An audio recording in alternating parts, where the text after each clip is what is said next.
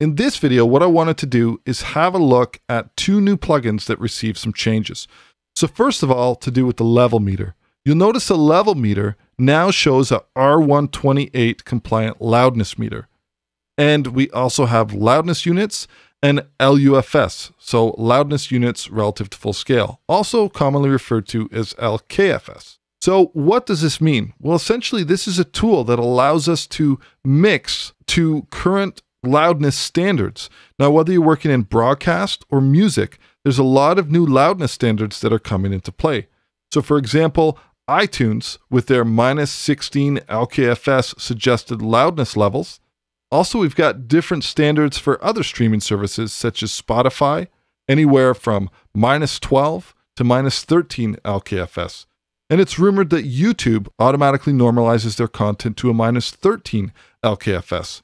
So if I use the LUFS meter over here and I'm in the R128 mode, I can get a very accurate representation of exactly the levels that I'm hitting. And this really helps when you're mixing. So for example, Let's see where these vocals are sitting right now. Sun comes up or the rain's down. I'm yours. Sky should fall, break your wonder wall. I'm yours.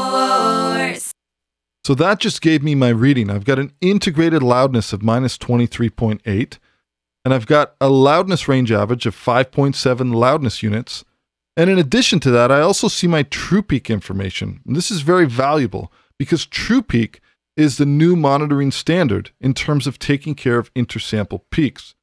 So this new level meter with the R128 and loudness units is a very welcomed addition.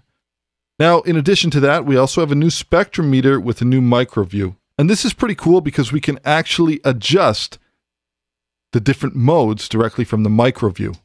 Sun comes up or the rain's down. I'm yours.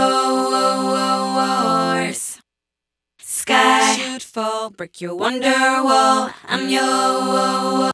So, pretty simple, but nevertheless very welcomed improvements. In the next video, we're going to take a look at the updated integration we have when working with Studio One 3.5 and above and Notion 6.2 and above. I'll catch you in the next video.